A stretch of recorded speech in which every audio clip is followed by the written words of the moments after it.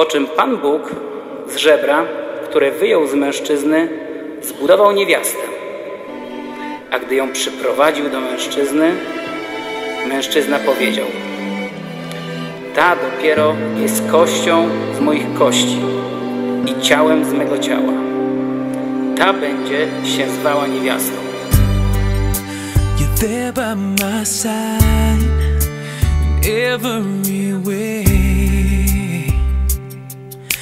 I know that you will not forsake me. I give you my life. I would not think twice. Your love is all I need, believe me. I may not say it quite as much as I should. But when I say Marto Adamie, to kazanie jest niespodzianką dla wszystkich. E, Po pierwsze, moi drodzy, e, mówi się o Duchu Świętym, że jest ogniem, że On jest jak ogień, który zstępuje i będziemy jutro czytać też ten fragment, który mówi o ogniu, e, który się pojawił nad każdym z apostołów. Ogień, można by powiedzieć, to taki aspekt miłości, gdzie jest namiętność gdzie jest pasja, gdzie jest, jak to się mówi, chemia pomiędzy osobami, które się kochają.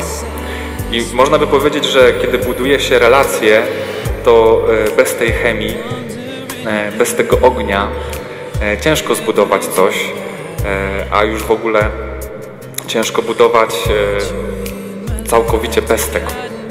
Potrzebujemy e, ognia w relacji, potrzebujemy namiętności, e, potrzebujemy tego, co jest takim tak zwaną właśnie chemią.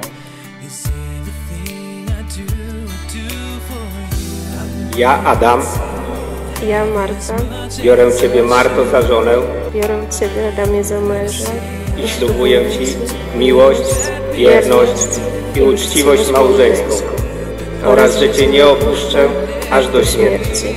W imię Ojca i Syna i Ducha Świętego. Amen. Jesteście od tej chwili mężem i żoną. Gorącymi brawami pozdrówmy młodą parę.